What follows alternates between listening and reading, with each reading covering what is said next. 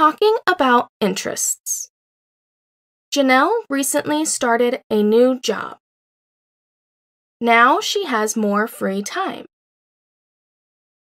She is happy because she has more free time.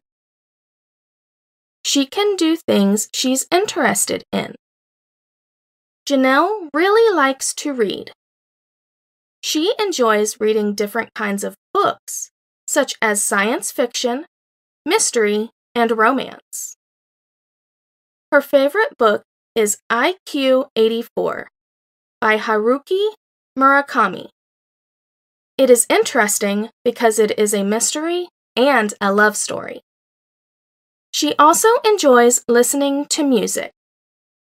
She likes different kinds of music, such as pop, jazz, and rock. She listens to pop music in the gym, jazz at home when she's relaxing, and rock on her way to work. On her days off, Janelle likes to play basketball with her friends. She is not very good at basketball, but she thinks it is fun.